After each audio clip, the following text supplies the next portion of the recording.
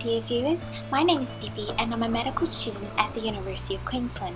I recently did an observership placement at a hospital in Dalby, which is a darling little town in Queensland, Australia, all thanks to the TROHPIQ's Trees program and its wonderful sponsors. And in this video, I want to share with you a snapshot of how a typical day in Dalby Hospital is like, especially for those who would like to consider and experience Dalby in future. So let's get cracking!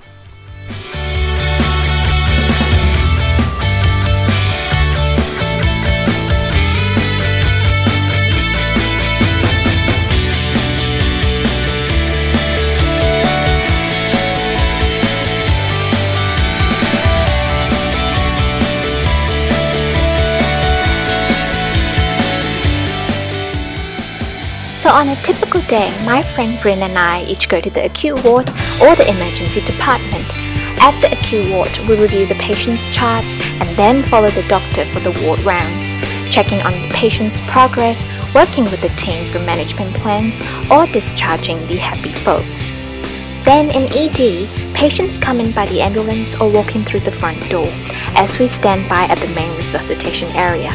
When the ambulance comes in, the paramedics do a handover to the nurses who take over for the initial management as the doctors join in. If patients come through the front reception, they get triaged by the nurses before we come up with the action plan. They then go to the plaster room for all the casting and splinting, or the procedural room for suturing, wound care, antivenoms, so on and so forth.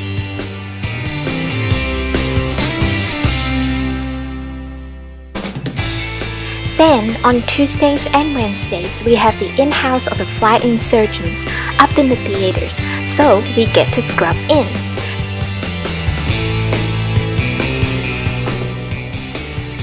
The patients get wheeled in as various nurses and doctors do final checks on them, and then they wait in this area before they are brought into the theater.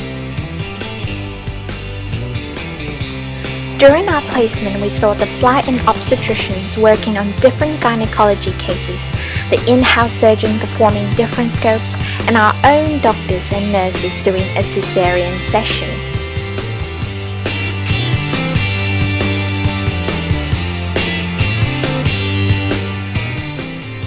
And after the operations, we also get to see the surgical outpatients.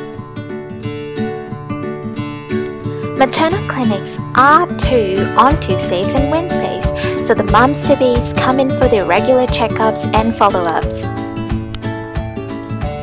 But it's not all just work, work, work. On some quiet days, we get to enjoy morning tea with the wonderful team. And after a long day at the hospital, we are spoiled for choices to rewind as well. We go for team dinners, trivia nights,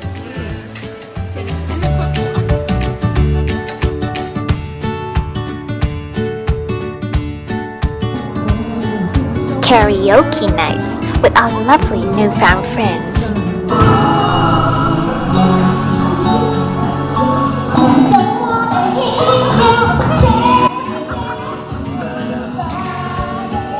Exploring Dalby during night and day.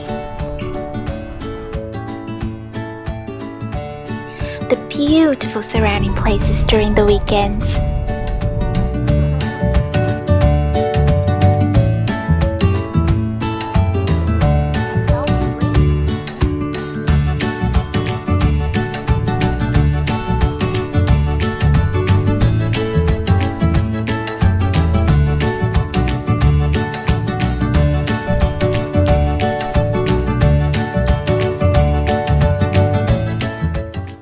And most importantly, getting to meet the most friendly and kind locals.